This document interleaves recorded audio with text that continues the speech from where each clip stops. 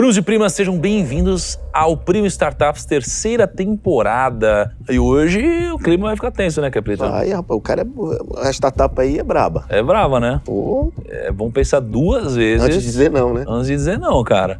Mas Né? a gente tem, a gente tem um, um bom suporte. Qualquer coisa a a gente gente tem pede um bom ajuda. suporte. Aliás, hoje, não vou, vou apresentar primeiro o Norton. Não, não- não joga pra mim essa responsabilidade. Seja bem-vindo, Norton. Obrigado, obrigado pelo convite. Muito bom, tamo junto. Ah, Esse aqui é um quadro, como você já deve ter visto, onde a gente investe dinheiro de verdade, né? Através do pool que a gente tem com a Bossa Nova. E vamos conhecer a startup de hoje, vamos ver se há um, um case que a gente acredita, um case que faz sentido na nossa tese, um case que a gente veja potencial de ganhar dinheiro, né? Junto com uma transformação né, que pode ser gerada para o cliente final. Enfim, vamos conhecer junto.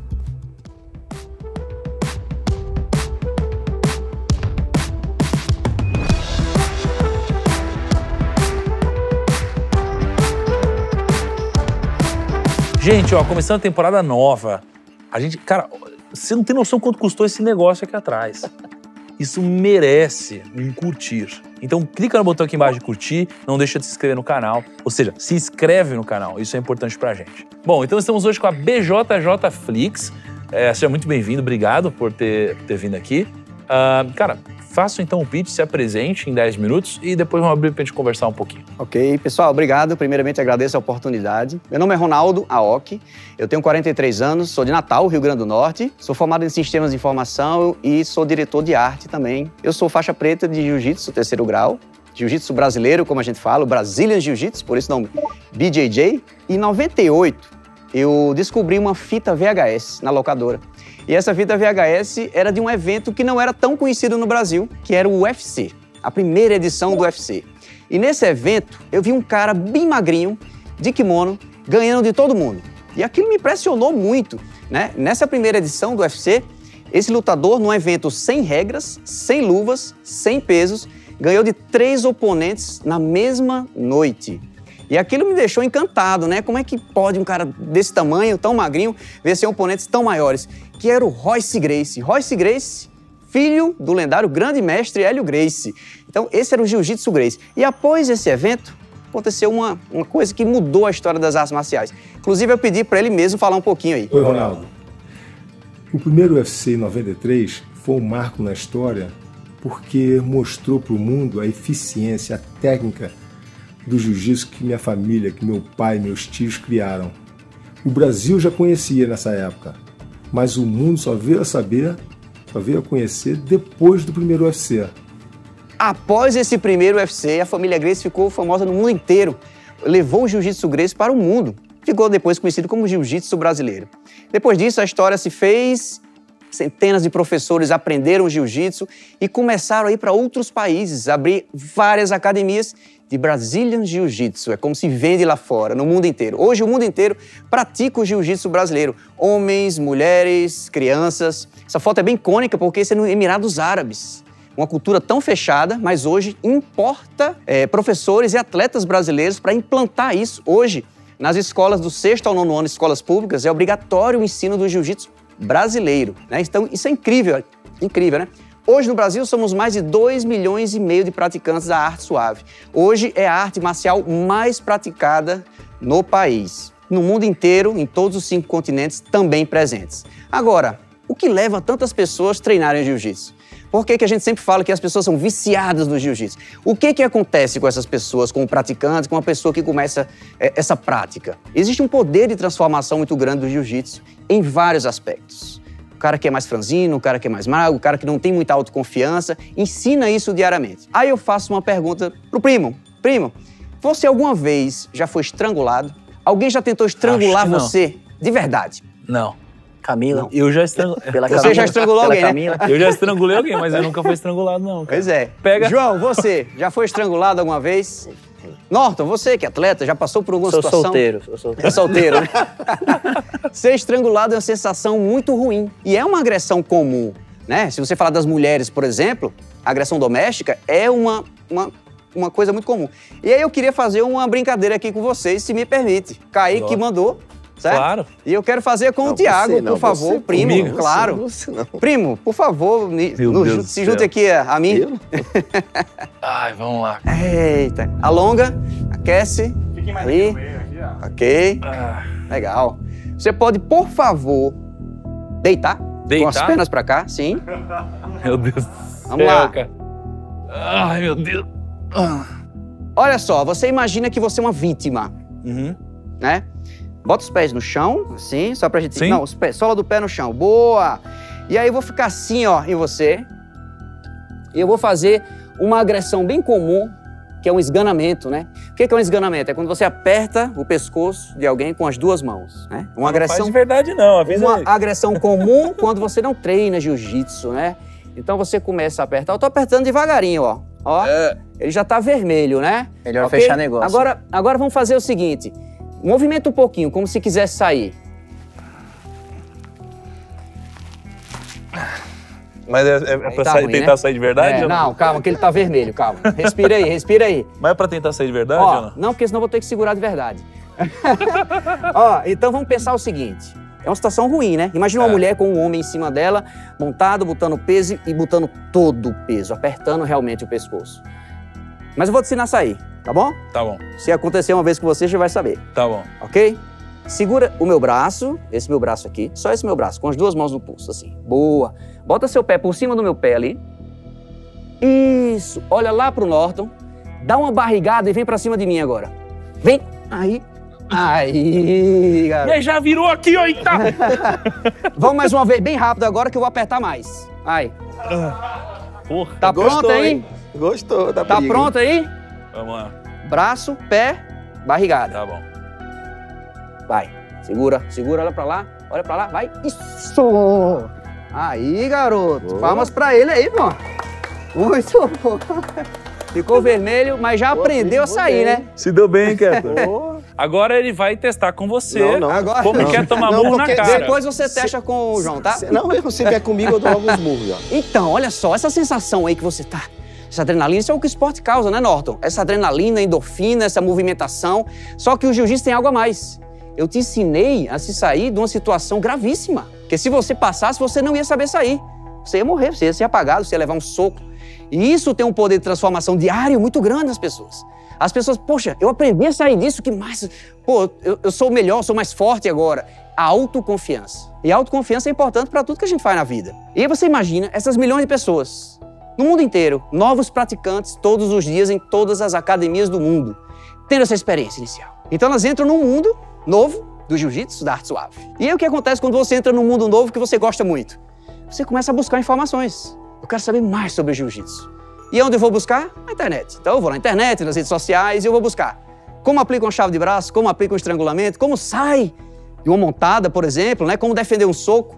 E aí você começa a descobrir outras coisas. Os professores, os atletas, os campeões, a história do jiu-jitsu, Hélio Grace, criador do jiu-jitsu do Brasil. E você começa a pesquisar um pouco mais. Só que o que acontece é que hoje essas informações todas estão pulverizadas na internet e na grande maioria delas são informações de baixa qualidade. Foi aí que então, em 2019, pensando em solucionar esse problema, eu idealizei a BJJ Flix, que é uma plataforma de streaming, uma OTT, onde a gente reúne todos esses conteúdos.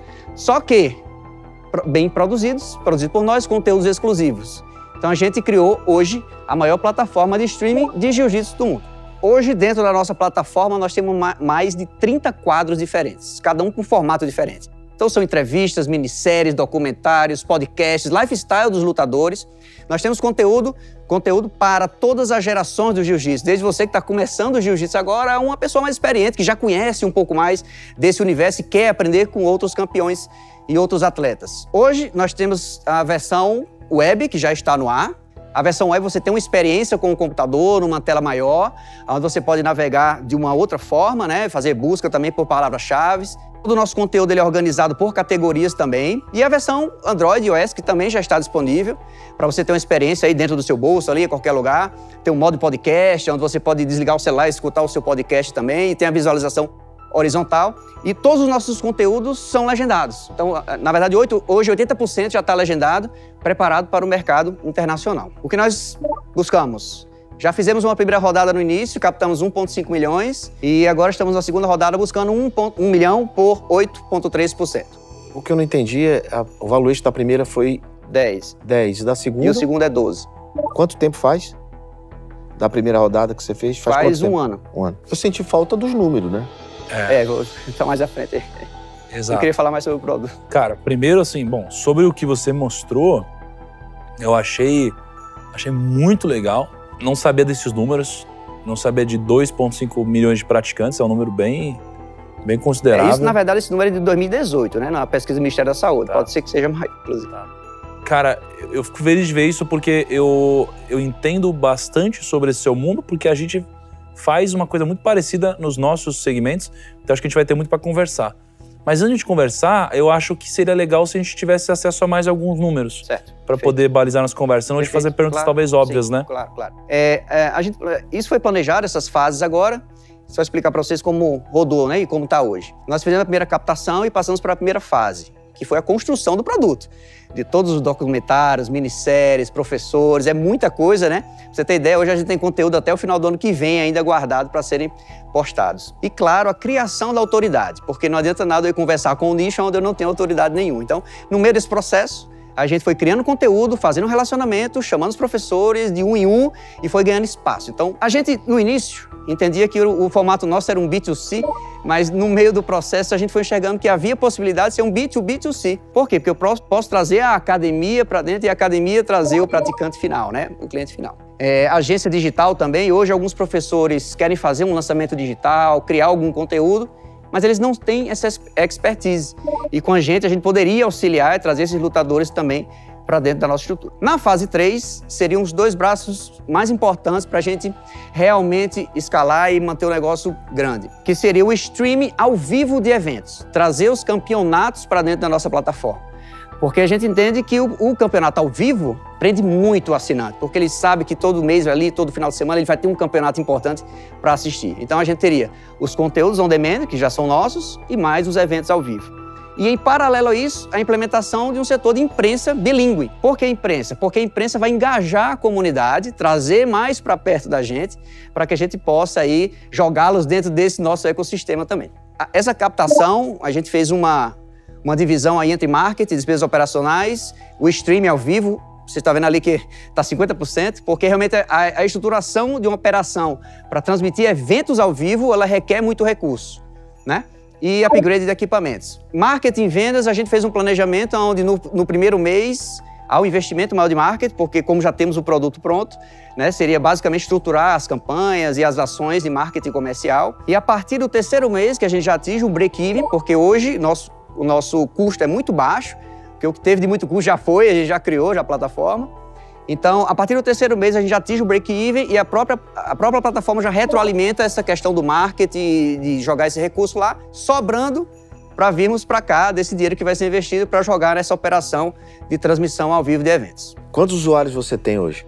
Na base, quase 8 mil, mas ativos, a gente nunca fez campanha de venda, então foi basicamente para validar o produto, conversando, dando assinaturas. 8 pras mil pessoas. gratuitos. 8 mil gratuitos. Gratuitos. É isso. Paga os 300 e alguma coisa, desses mas 8, a gente não desses 8 trabalha mil, isso. quantos assistem? Quantos são ativos? Quantos são ativos, eu teria que olhar um pouco mais de dados lá, mas, Mas- quero 50%. 50%.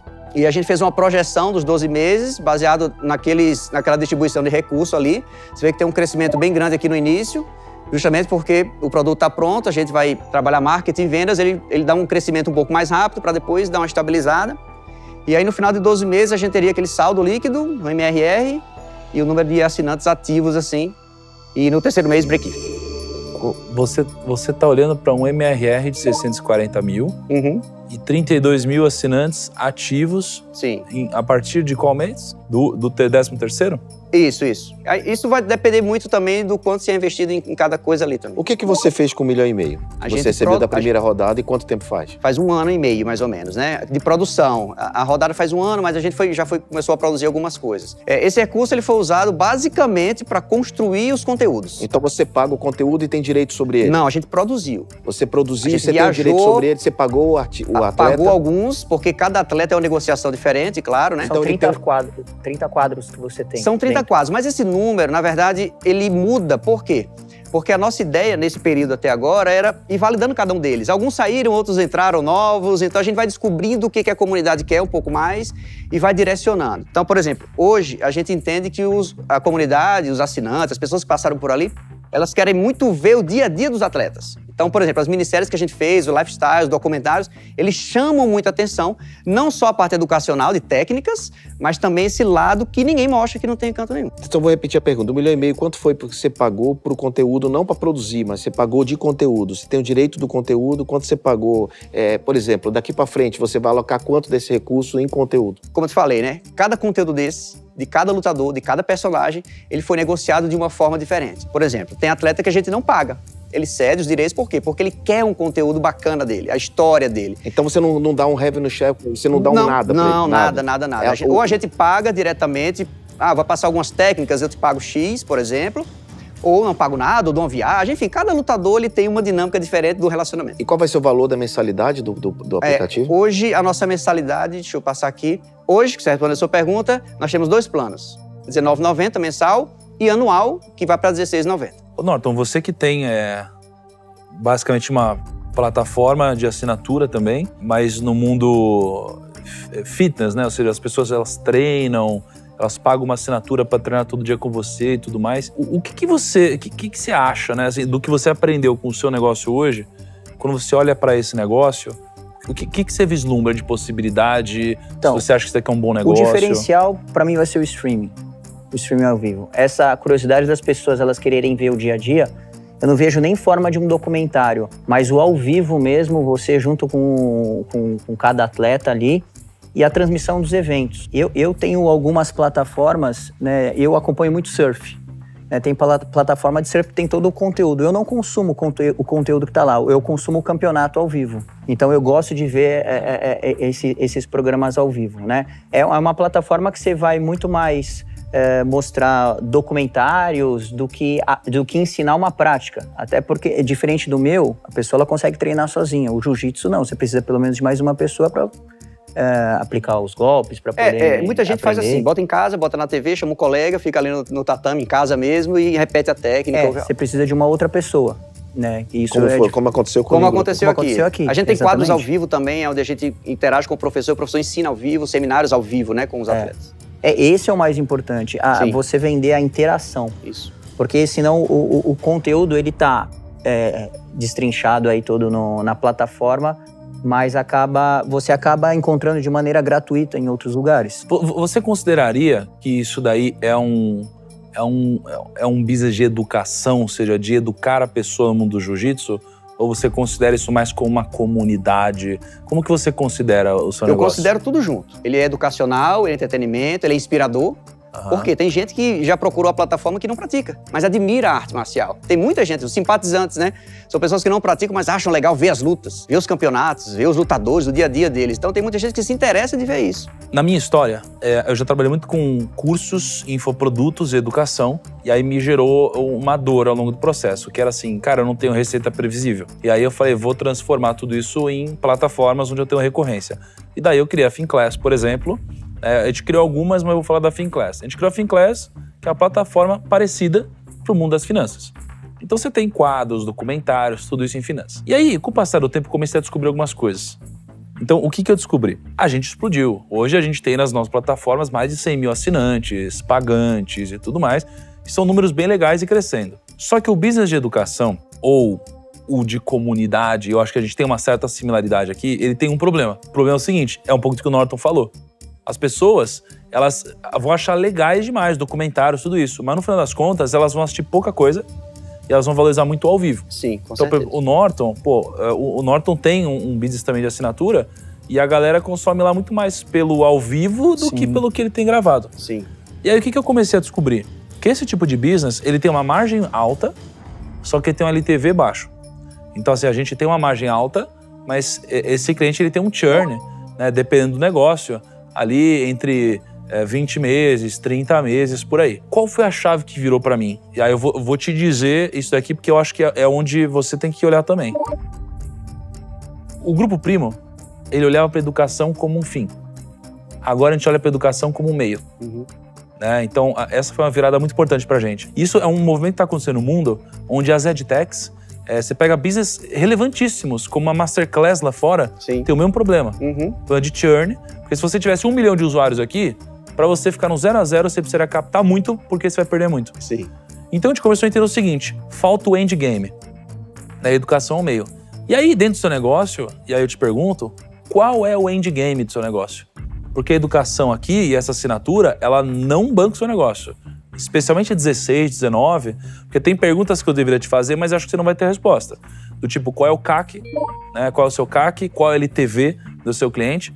E essa relação precisa ser relevante e com um ticket tão baixo assim, não vai dar ROI positivo, assim, Aham. vai ser muito difícil. E aí eu te perguntaria qual que é o mal hoje, acho que você não deve ter também, que é o Monthly Active Users, né, desses 30 mil usuários. Então essas perguntas são importantes para a gente fechar uma equação. Mas como você hoje não começou realmente no mercado, gastar em tráfego e tal, você não vai ter resposta.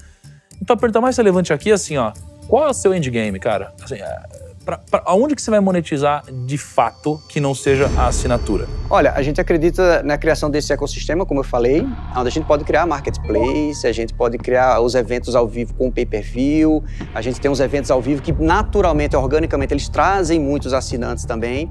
Então, mas a, gente idealizou que tendo o conteúdo on demand, quando o assinante ele entra, o usuário ele entra na plataforma pela primeira vez, de repente talvez esperando um campeonato brasileiro que ele quer assistir, ele vai descobrir um outro mundo. São vários mundos ali dentro, né? Mas tudo isso a gente consegue criar porque ele, o, o, público do jiu-jitsu ele é muito tribal, assim, né? Então, poxa, isso do jiu-jitsu é legal, então é do jiu-jitsu, então vamos para lá.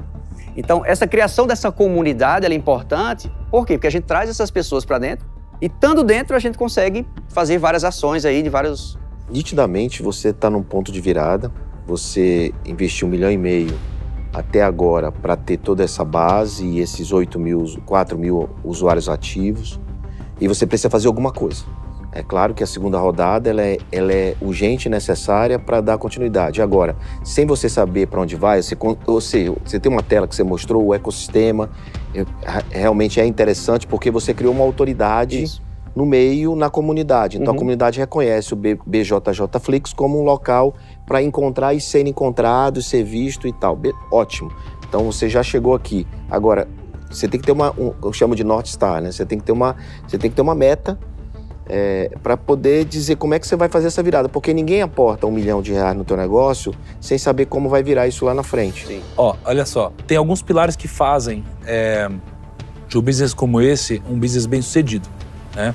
É, no nosso é, business de assinatura, eu tenho dois grandes objetivos. Um, uma receita é, saudável e recorrente. Dois, um produto world class. Esses são os nossos dois objetivos, tá? Na receita saudável e recorrente, eu tenho é, duas métricas que eu analiso. Eu olho para o EBITDA do meu negócio e eu olho para o nosso LTV sobre CAC. Isso aqui é o que eu olho na nossa, é, na nossa receita. Então eu vou olhar para quanto tempo o cliente fica na minha plataforma pagando e o quanto que eu gasto para adquirir esse cliente. E no produto World Class, eu olho para duas coisas. Eu olho para o NPS do meu cliente, que é basicamente o grau de satisfação do meu cliente, e eu olho para o MAU, é o Monthly Active Users. Então é quantos por cento da minha base entram pelo menos uma vez por mês e dão play num vídeo. Então, isso daqui são as métricas para esse negócio ele, ele ser relevante, parar de pé, se eu conseguir atingir o número que a gente busca. Mas para um negócio como esse, a dificuldade é o seguinte: você tem muito cash burn, você quer muito dinheiro. É, então você vê os negócios lá fora captando demais, demais, demais. A não ser que você tenha um moat. Qual que é o moat? Moat é você ter uma aquisição orgânica. Sim. É eu te faço essa pergunta. Sim. No meu caso, a gente tem influenciadores e portais que trazem a nossa aquisição para quase que um custo zero. Legal. O Norton, cara, é o. Sei lá, se não for o mais, é um dos mais bem-sucedidos na área dele no Brasil. Então, ele mesmo faz a aquisição, ele ajuda esse negócio a parar de pé sem precisar gastar tanto em tráfego, né? E no seu negócio, o que eu pergunto é assim, ó. é, quem são essas é, figuras que trazem tráfego? Quantos seguidores essas pessoas têm? Quão alinhados elas estão no negócio? E, e- e se você tem, de fato, alguma coisa assim? É, E como o- chegou a 8 mil? Sim, é- é, foi É, organicamente. Porque assim, cada conteúdo que a gente tem, né, a gente joga organicamente ali nas redes sociais de algum professor, e esse próprio atleta ele já tem a base deles. Mas a gente sabe que organicamente, meu e dele, não vai entregar tanto, né? Então, naturalmente, quando a gente grava algum material, a gente já faz uma, uma ação de marketing, ele deixa preparada para que a gente use depois em campanhas e coisas assim, com cada professor desse. E cada atleta desse que passou aí tem seus seguidores, que são os nossos clientes também, né? Não, com toda essa galera, nas redes deles, você tem hoje 300 assinantes pagantes, Sim. né? Então, cara, para você chegar no número que você busca, vai ser difícil. vai ser, vai ser bem complexo, vai ser bem complexo. Como lição que eu quero deixar para você, o Nigro vai te dar a resposta, mas na minha visão, você passou um pouco do tempo, do time, é, produzindo, estruturando, queimou muito caixa para fazer isso. Certo. Você deveria ter feito, abastecer o avião no ar, como startup, né? menos dinheiro, menos recurso, fazer mais com menos e ter feito venda, validando, corrigindo, validando, Certo. corrigindo, e não ter Uhum. gasto queimado esse um milhão e Perfeito. meio com Uhum. tanto tempo. Então, acho que você investiu muito em produção Isso. né, e, e, e no outra ponta você deixou a desejar. Se, se você tivesse vindo aqui, para mim, por exemplo, é, com num estágio ante- me- anterior, com gasto menos, menos dinheiro investido nisso Certo. e com mais resultado, talvez a minha imagem fosse outra. Norton, o que, que você acha, cara? Faria o plano só anual, início. Eu acho uma diferença muito pouca de um plano mensal para um plano anual, que você tem 16 16,90 é, É o anual, 19,90 é um mensal. E como fazer numa plataforma recorrente, para mim o problema não está na recorrência, mas está no, no conteúdo. Eu não, tô vendo muita diferença do conteúdo que a plataforma oferece para um, eu colocar num YouTube e assistir. No Instagram, talvez. Entendeu? Por mais que tenha uma qualidade Exato, por tal, mais né? que tenha qualidade. Cara, é o seguinte, ó, é, para mim, eu não consigo investir nesse negócio por alguns motivos, tá? Primeiro, cara, eu não sei qual é o CAC desse negócio. A gente não fez nenhum teste. Precisa de alguma forma ter validado qual que seria o CAC para esse mercado e tudo mais. Não sei qual é um LTV projetado dessa base. Não sei qual é o mal dos assinantes. Eu acho que falta esses dados, essas métricas que para mim são importantes. Qual é a NPS das pessoas que estão na plataforma. Uhum. Porque, Assim, eu não sou um praticante de jiu-jitsu. Eu tenho amigos que praticam pra caramba Aham. e tal. Eu curti essa aula que você me deu agora aqui. Já não vou, se alguém me estrangular, já vou inverter o negócio. Aham. Mas eu, eu quero saber se a galera que tá assistindo gosta. Então eu quero saber se eles estão assistindo, se eles gostam. Sim, acho que isso falta. Cara, eu entendo você ter investido primeiro em produção, mas eu. É, é que é delicado. É- O óbvio a fazer é seguir a recomendação do Kepler.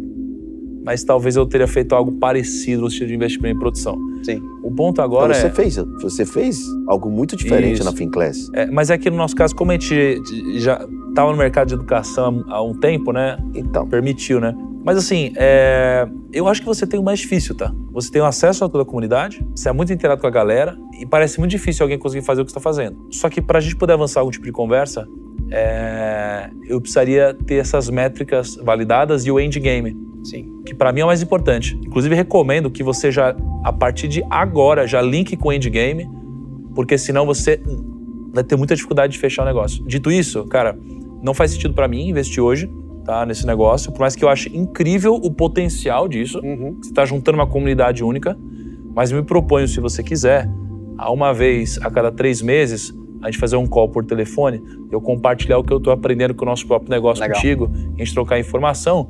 Isso por si só eu já acho que vai ter uma valia muito Com grande para você, Uhum. tá? E aí, o que, que vocês acharam? Vocês acham que eu tomei uma boa decisão? Vocês acham que não? O que, que você acha que é o futuro desse negócio? Deixa aqui no comentário a sua opinião. E vem, e vem cá, Keplito, e a Hum. galera que às vezes é, tem uma startup, tem um negócio, quer apresentar pra gente, tá se inspirando faz? aqui, não é? Uhum. Só aqui, na, aqui, no, aqui no link, na descrição, tem um link e você clica lá e se inscreve. Quem sabe na quarta temporada vai estar aqui com a gente, Ah, né? Pra é gente isso aí. poder analisar. Igual o Ronaldo. Norton, muito obrigado, cara, pela Valeu, contribuição, valeu, pela parceria sempre. Obrigado, obrigado, Kepler. Tamo junto, cara. Tamo Siga junto, o cara. Norton lá.